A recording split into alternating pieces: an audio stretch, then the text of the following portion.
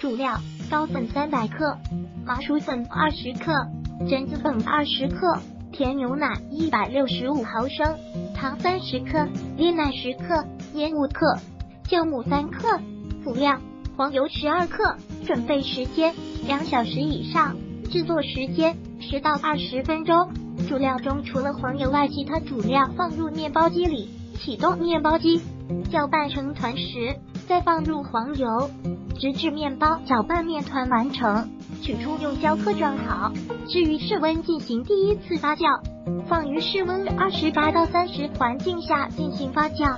面团膨胀至原来的两倍大，用手指戳一个小洞，没有回缩，则发酵完成。取出面团，排出气体后。滚圆，松弛静置二十分钟，然后分割成八等份，擀成长片，卷成条形，排放入烤盘里，放于烤箱里进行醒发。醒发时间大概四十五分钟。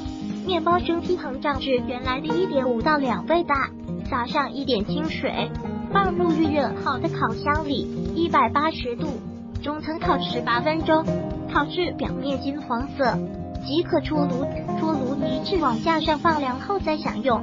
烹饪技巧：烤面包前我没有涂上蛋液，所以在面包表面撒一水，以防面包表皮过硬。如果喜欢本视频，请分享并订阅本频道。